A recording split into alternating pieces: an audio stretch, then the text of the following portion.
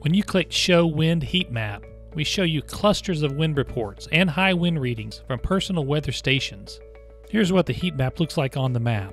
These purple blobs are either NOAA wind reports or wind gusts 40 miles an hour greater from local personal weather stations. These brown markers represent NOAA wind spotter reports and are displayed when you select Show Wind Spotter Reports from the Map Options dropdown. The remaining purple heat map signatures are greater than 40 mile an hour wind measurements from personal weather stations.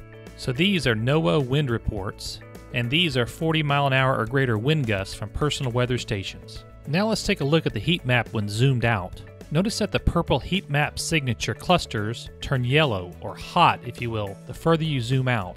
With a heat map, you can quickly spot concentrations of severe wind, and you can then scroll day to day to see each day's wind at a glance. Now let's look at how to see the wind readings from the individual personal weather stations. Click near any heat map signature and then click Wind Observations. You'll see a scrollable list of nearby wind measurements.